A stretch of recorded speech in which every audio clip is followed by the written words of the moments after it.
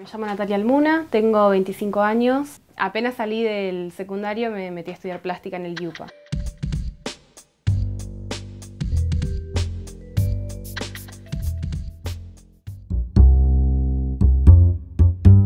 En la docencia sí, hay mucho, mucha salida, pero si uno toma la decisión de dedicarse a su obra personal, eh, puede ser que lleve un poco más de tiempo, pero no es imposible.